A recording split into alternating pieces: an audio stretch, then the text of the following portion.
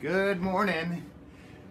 Uh, this is your spiritual workout, sweat workout, spiritual workout every today for Sunday, January 31st. Um, thanks for taking a moment to watch this video. If you're looking for some direction about a spiritual workout for today, here you go. We've been working through the Sermon on the Mount each day, just a little section each day for us to reflect upon.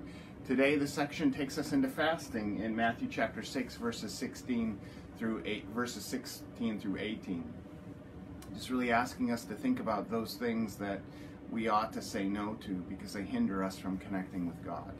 And so, encourage you to take a few minutes to be still and to ask God to help you make him make you aware of his presence.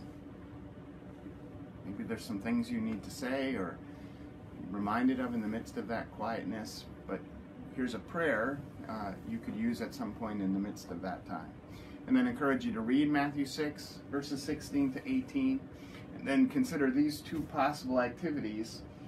One is to fast from something today that hinders you from connecting with God.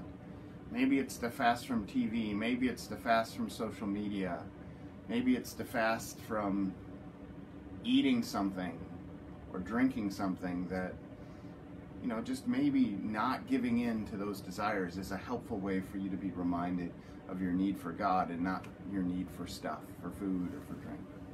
And a second possibility too is consider the value of fasting as it talks about in the scripture and maybe what would it look like for you each week to have a consistent fast that would be helpful for you in connecting with God learning to say no to ourselves is part of the important way that we grow in our ability to connect with God. So consider what that possibly could look like. What could you give up? How could that fit into your schedule? And really consider the importance of what that could mean in terms of growing relationship with God. So hope you have a great Sunday. Thanks for taking a minute to watch this video.